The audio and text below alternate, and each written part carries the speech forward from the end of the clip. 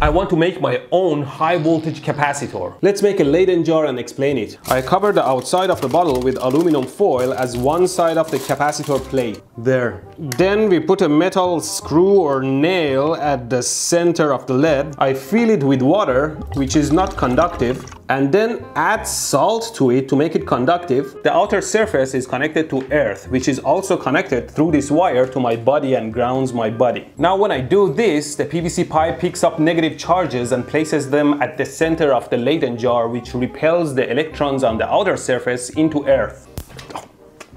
Let's see if it picked up any charge. I forgot to unground myself. Let's try it at different number of strokes. Okay, 10 strokes. Here's 20 strokes. And here's 50 strokes. Wow!